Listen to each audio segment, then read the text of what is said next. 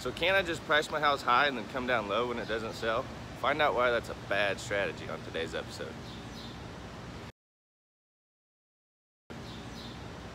So it's typically thought that I'll just start high and come down low when my house doesn't sell.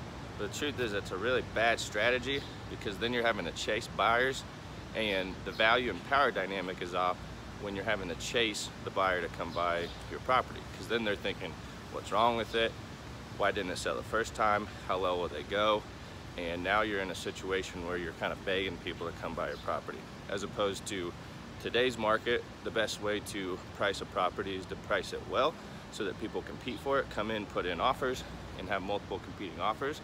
And that way you have people wanting to buy your property instead of just waiting around or not coming to look at it and taking it seriously. If you like this comment or this content please hit like uh, comment on it, share it with your friends, and if you really like it, head on over to our Facebook page at Team Home Hero and get more awesome info. Thanks for watching. Have a good day.